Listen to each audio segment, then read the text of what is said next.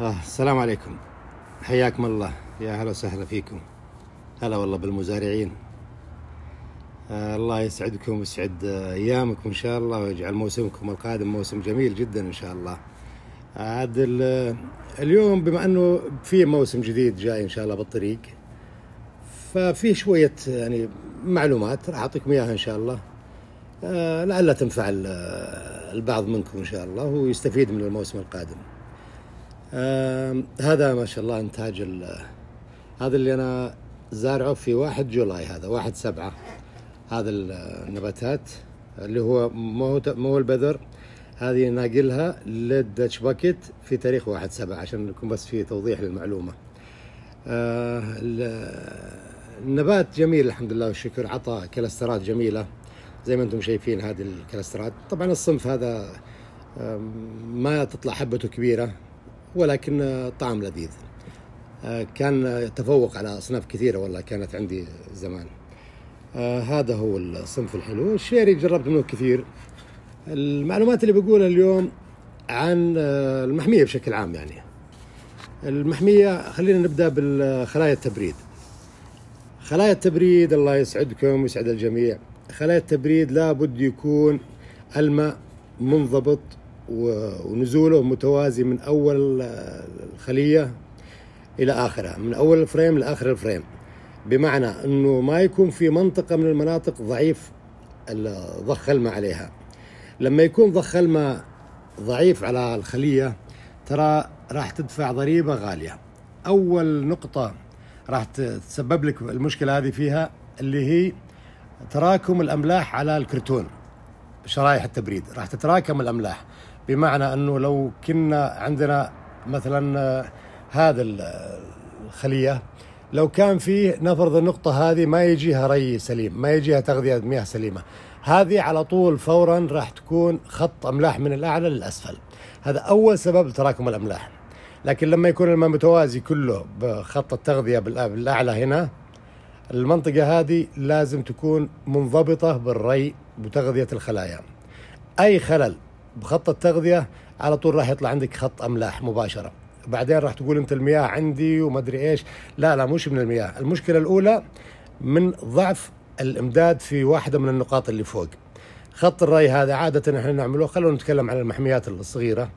نعمله بوصة الا ربع هذا هو زي ما أنتم شايفين اذا كان واضح. التخريم يكون ثلاثة سنتي ثلاثة ونص أربعة يعني ما ما نتجاوز الأربعة وبحدود الثلاثة يكون يكون جميل اللي هو الخروم اللي تنعمل بالخط الإمداد خط الري. آه، بالحالة هذه لما تترتب عندنا ال- ال- الخروم اللي بالخط التغذية بإذن الله ما راح يكون عندك ترسيب أملاح نهائيا. هذه آه، ترى نقطة مهمة جدا بالعملية الأملاح. آه لا واللي فيكم يبغى يجرب بس يقفل له اثنين أو ثلاثة من الخطوط هذه بتيب واقل من 48 ساعة راح يلقى خط ملح من الأعلى للأسفل. هذه نقطة واحدة من ناحية الخلايا. وطبعا الخلايا تعتمد على إنه ما نقول المياه لها دور نوع الماء مالح غير مالح بس الأكثر تأثير اللي هو الانضباطية بتوزيع الماء فوق الكرتون. وما في داعي يكون خط الري بعيد عن الكرتون البعض يقول لازم يبعد وما أدري إيش أو مقلوب لا لا لا الك- الكرتون بطبيعته عنده خاصية سحب الماء فلو تحطه يبعد 2 سنتي عن ال- الكرتون راح يسحبه مباشرة. مباشرة راح تسحب الكرتون ولا راح يكون في تطشير مياه ولا شيء. هذه ال- النقطة بخصوص الخلايا. على أساس ترتاحون من ال- الغسيل الدائم والشغلات اللي أزعجتكم صراحة. آه، بالنسبة لها نجي على الأوساط. يعني أنا أنا بتكلم عن الحجر البركاني وعن البرلايت. يعني هذول ال- الوسطين اللي أكثر شيوع عند الجميع. خلكم تشوفون الورد وأنا أتكلم أوسع لكم صدر يعني. الحجر البركاني هذا أنا أفضله بال بالشتاء. بالشتاء أفضل الحجر البركاني كثير لأنه ما عندي مشكلة من حرارته ما راح يرفع لي حرارة المحاليل. الأمر آه، جميل ما في إشكالية من ال- المحاليل ما عليها مشكلة بالشتاء. وأيضا الحجر البركاني يحتاج زيادة ري. يعني لما يكون عندك خطين واحد حجر بركاني وواحد perlite انتبه لا تسوي ال timer على نفس التوقيت. لا الحجر البركاني عطوه double يعني تعطي دقيقتين هنا عطوه ثلاث أو أربع دقائق على الحجر البركاني. يعني لو تعطي دقيقة عط دقيقتين. ولا يكون من بعد الدقيقة الثانية يعني ابدأ هدي بعملية الدبل. خليك مثلا دقيقتين تعطيه ثلاث. ثلاث تعطي أربع. يعني الحجر البركاني ترى يحتاج ري ما هو بسيط لأنه ما يحتفظ بالمياه للأسف يعني وهذه ميزة فيه لكن كيف نستفيد من الميزة؟ نستفيد منها إنه نزيد الري عليه. ال perlite هو المصيبة الحقيقة، ال perlite يبغى له عناية بالري وانضباطية كاملة كاملة بالري. ال perlite آه، البعض يزيد الري ويطلع عنده على طول مباشرة تعفن جذور لأنه بيئة سبحان الله يعني يمسك الماء بشكل غريب وعجيب فما هو جيد. يعني لازم بالصيف ال perlite أنا أفضله كثير. اللي عنده إمكانية يعني يغير من هنا لهنا يعني ما في مجال. وعشان نبعد عن تعفن الجذور من زيادة نسبة الأملاح المتواجدة 24 ساعة عند الجذور هذه شيء سيء. فأنا برأيي إنه ال perlite بالصيف جيد حجر بركاني بالشتاء جيد مع مراعاة الري. وإن استخدمت الطريقتين ما عندك إشكالية بإذن الله. الأمر الثاني على السريع بس نقول لكم استيعاب ال Dutch bucket. كذا مرة نتكلم. لما يكون عندك Dutch bucket في نص المحمية. في نص المحمية حط بال Dutch bucket الواحد لو تقدر شتلتين ما عندك مشكلة. لما يكون صف واحد Dutch bucket صف واحد. حط شتلتين بحيث إنه واحدة تربيها يمين وواحده تربيها يسار. في ممرات هنا تكون. هذا هذا القضية الأهم بالنسبة للناس. يسألون كثير. لو تحط ثلاثة ثلاث شتلات بال Dutch bucket ما عنده مشكلة. الجذور ما إحنا طالبين منها تتمدد. الجذور إحنا نأمن لها الغذاء كامل. القضية بقضية المجموع الخضري كيف راح تربيه؟ كثير احد كثير ناس يسألون عن كم وكم. اترك العملية كامل الجذر ما نبغاه يتحرك أبد.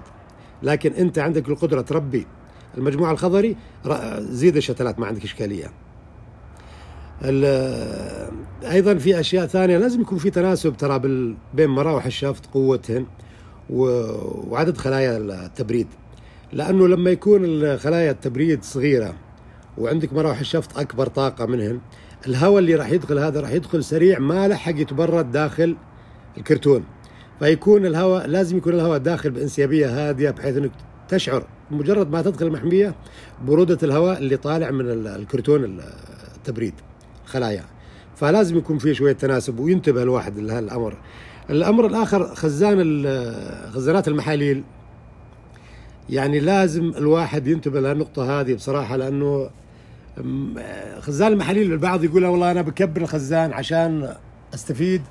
ما أعبي الخزان كل يوم وأتعب وبهذل نفسي. لا لا حبيبي إذا كبرت الخزان هنا هنا في مشكلة. إحنا بالضبط ما ندري النبتة هذه كم امتصت من العناصر. في عنصر معين النبتة سحبته أكثر من العنصر الآخر.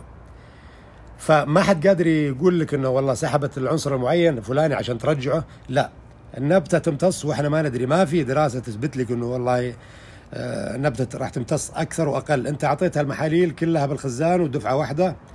فالأفضل يكون خزانك أقل عشان النبتة لما تشيل عنصر معين أكثر من الآخر ما نبقى المحلول. نغذي فيها النبتة وهو ناقص هذا العنصر.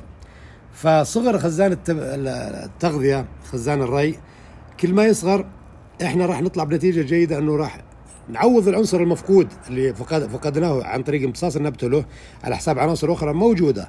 نعوضه بان نعطي محاليل جديدة.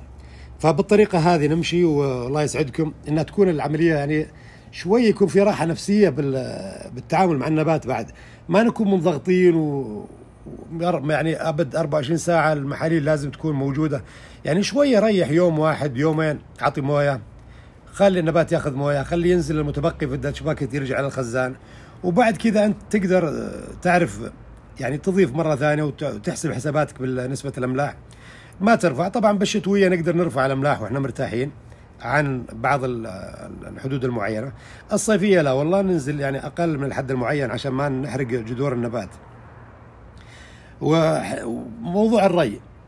موضوع الري باختصار عشان ما يطول الفيديو لأني أنا من الناس الملولين. فأتعامل معكم زي ما أتعامل مع نفسي والله أنا اعمل من المقاطع طويلة. المهم موضوع الري لازم يكون فيه يعني انضباطية دقائق معلومة. حتى المحاليل لازم تكون الرقم ثبت عليه خلاص. بدل الإنتاج عندك بدأ زي كذا ثبت لغاية آخر عمر النبته ثبت الرقم. ولنفرض 1800 2000 ثبت كذا خلاص. لا تغير شيء نهائيا. لا ترفع لا تنزل إلا أنك تعطي موية فاضية بدون محاليل. الري حكاية الألتار هذه كم لتر وكم لتر راح يطلع نقاط وما أدري إيش. حبايبي والله لا أحد يزعج راسه بالكلام هذا ولا أحد يدوخ نفسه. ما أحد راح يقول لك كم لتر إلا أنت اللي قاعد عند النبتة تشوفها وتشوف الأحواض حقتك وتشوف نسبة الرطوبة عندك.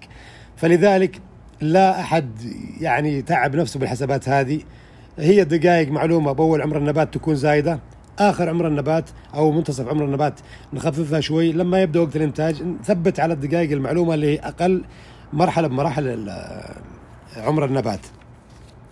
الطيب اللي أكيد راح نتكلم عنه دائما وابدا. نتكلم عن الانضباطية، الانضباطية في كل شيء لازم تكون عشان تلقى محمية جميلة وتلقى إنتاج جميل بإذن الله. والله يسعدكم ويسعد الجميع إن شاء الله. أنا الحين قاعد بجنب حارة الغلابة هذه. هي فالله يسعد الجميع. إن شاء الله نشوفكم في أوقات أخرى. أنا بالعادة أجيب لكم يعني ورد ولكن هذا الورد شوفوه وبالأخير بختم لكم بوريك بالوردة هذه توها جديدة. هذه هي. يلا وهذه أختها بعد لسه. آه الله يسعدكم ويوفق الجميع. في أمان الله.